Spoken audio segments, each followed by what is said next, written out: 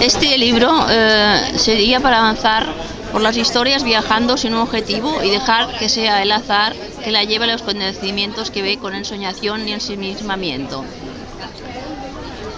El, el título del libro es Galiza, un camino de ensoñación.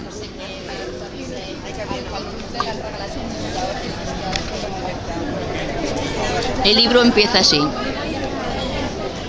El tren corría veloz, rodeado de campos amarillos, quemadas por el frío.